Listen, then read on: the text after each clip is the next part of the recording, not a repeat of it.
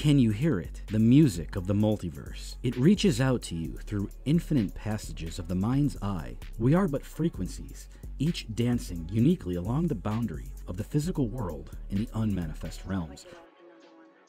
Flickering lights in the dark, as eyes from the great beyond become more attracted to our shimmer as time passes by. Take this lantern, you'll need it, as we explore the depths of DC Comics and see how far the void really goes. In our world, if you look hard enough, you will find another guide. If you find yourself lost, know that a guide exists, even in the most hopeless of places, where one cannot even trust their own consciousness to be real. DC Comics history is rich and vibrant with crisis events and multiversal resets. It's a place where time is fluid and ever changing.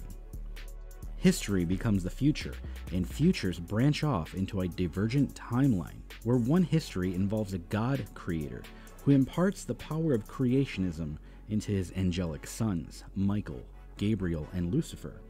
In another continuity, a cosmic mother imparts creationism into her monitor sons, Alpheus, the Forger, Mobius, the Anti-Monitor, and Mar-Novu. DC acknowledges these continuity rewrites as varying vibrational frequencies that are all structured within the larger container of hypertime. Just like comics often reset their own history, I too feel the call of Scathan, the Approver, beckoning me to do better and become a positive light in the comics community, instead of being one based around drama and volatility.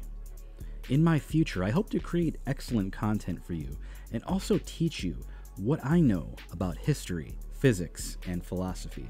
You'll need a basic understanding of all three of these co equal branches of existence so that you can lay the groundwork for ultimate knowledge and understanding.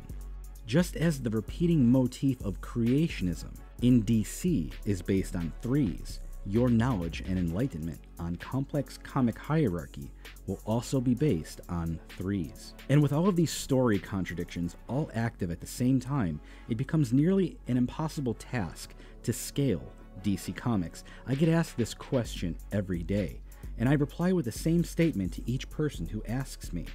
I don't like to use common scaling wikis and don't enjoy applying their terms to scale anything because I simply do not agree with what the scaling terms are defined as.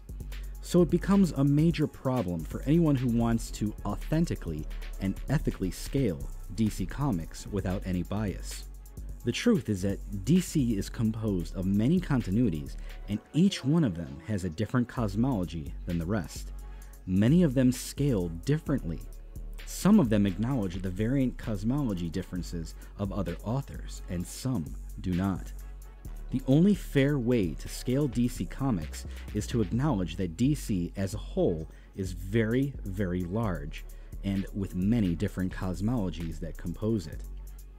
Taking that into account and applying a scaling to the entire system is the only way forward, and the only way to unbiasedly understand DC Comics' true scale.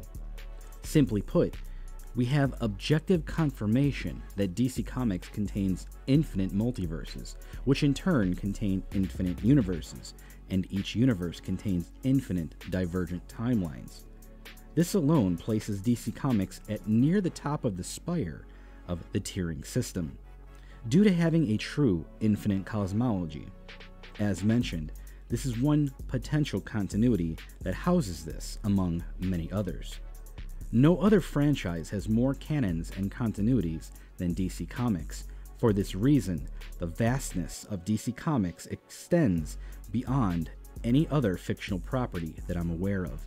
Once more, due to the fact that many of these meta canons are also able to cross connect and intersect with each other very often.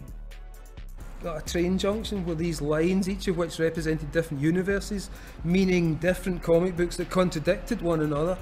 For example, Duke Thomas came from the Dark Multiverse, where he defeated a variant version of Barbatos and all of his terrifying demonic followers. Later, Duke was able to cut his way out of a non canon story and emerge into the mainstream canon of DC Comics. This event takes place in the 2024 Outsiders comic series. This one feat alone dismantles the entire idea of the tiering system and what it means to be placed into a specific term that describes the power rating of a franchise. DC Comics has realms beyond math, beyond understanding and logic, far surpassing the notion of particle physics or classic dimensional tiering. With all this in mind, we are excluding all the meta locations that start with the sphere of limbo and upward into the cosmic container known as Nil, where the monitors once dwelled during the final crisis. We are excluding the cosmic armor Superman, which is the personification of the entire sum of existence, as the Overvoid prefers to view it, which itself is beyond all form and meaning, and can pre-adapt to any and all future threats. This singular instance in DC history breaks even the top tier 0 spot of many online scales. We move onward to also ignore Mandrakk, the corruption of the Overvoid, who was created by the Monitor Mind to consume the entire flaw. Now also a tier breaker, whose definition was to end all things with and without meaning. There are no scales currently available to accurately portray who and what Mandrakk is. And beyond all of this, the Monitor Mind, the Absolute Void, the Ein of the Kabbalah, the unified field, and the ultimate original point at which all data, all stories, and even concepts originated from. DC Comics is quite complex, religiously centered, and inclusive of structures that have the very definition of breaking the tiering scales themselves. I hope you enjoyed this video. Please drop a like and make sure to subscribe. It means a lot to me if you would support my channel in any way possible. Thanks for watching, and remember, even when all hope is lost, even in the middle of the great darkness itself, there is always a light, somewhere and in some time. You just have to look for it without your eyes, and instead with your mind.